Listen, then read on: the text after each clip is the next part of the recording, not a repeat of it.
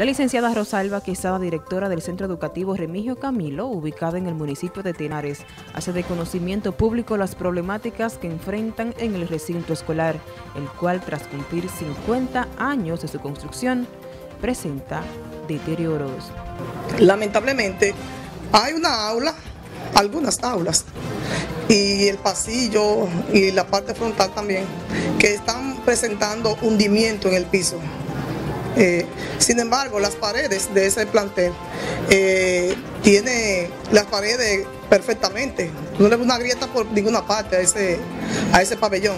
Sin embargo, está presentando esa problemática de que está presentando hundimiento y en algunos, algunos lugares se están levantando ya los... Eh, los ladrillos, ya los mosaicos. La maestra dice que como entidad educativa no podrían asumir la construcción con los fondos de descentralización, por lo que solicita sea el Estado que lo haga. Giovanni Cordero, NTN, su noticiero regional.